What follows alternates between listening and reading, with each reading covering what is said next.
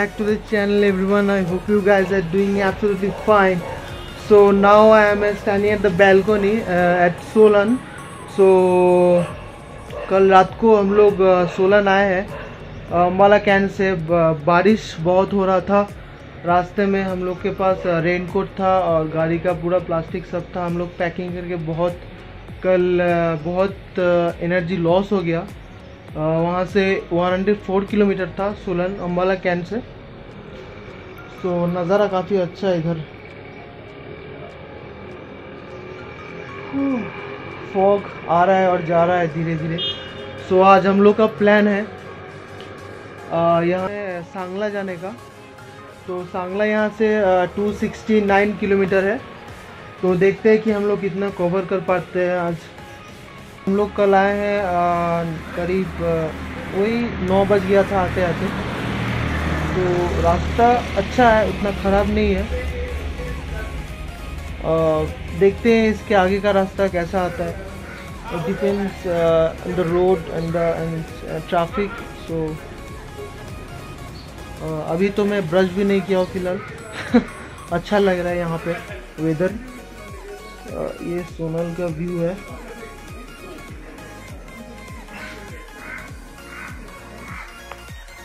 सो bye guys वहाँ पे मैं जाके ब्लॉग करूँगा next blog bye guys over and out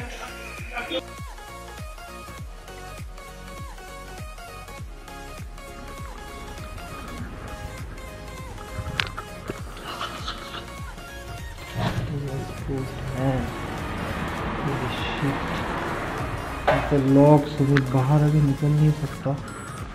एक सेकेंड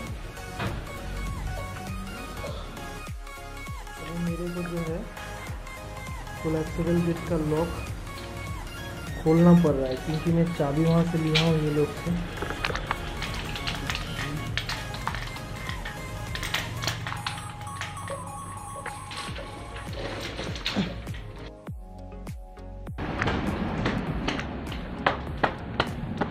हाँ so guys uh, this is our